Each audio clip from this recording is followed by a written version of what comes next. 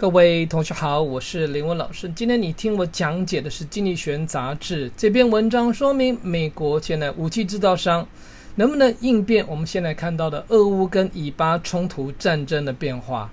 这边讲了一个单词叫 arm，arm 当然是非常的重要。各位在荧幕上就可以看到 a r m 这个字，除了当手臂以外，它的加 s 是武器，所以代表是很重要的。甚至还听过一个品牌叫做 Armor Under Armor，是不是？它总之，我们为了 Uncle Sam 就是美国的武器预备已经并不像以前的模式了。这篇文章重要，我们听个四分半钟。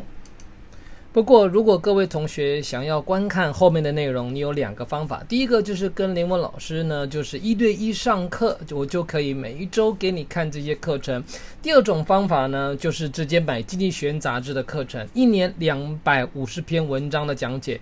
再说一遍，一年两百五十篇文章的讲解。你看荧幕上，我已经讲解了两千七百八十四篇，这代表简单吗？时间过了十二年。就这么简单，时间过了十二年才可以累积这么多篇的文章讲解，大家可以看得出来，很快就要超过三千篇了。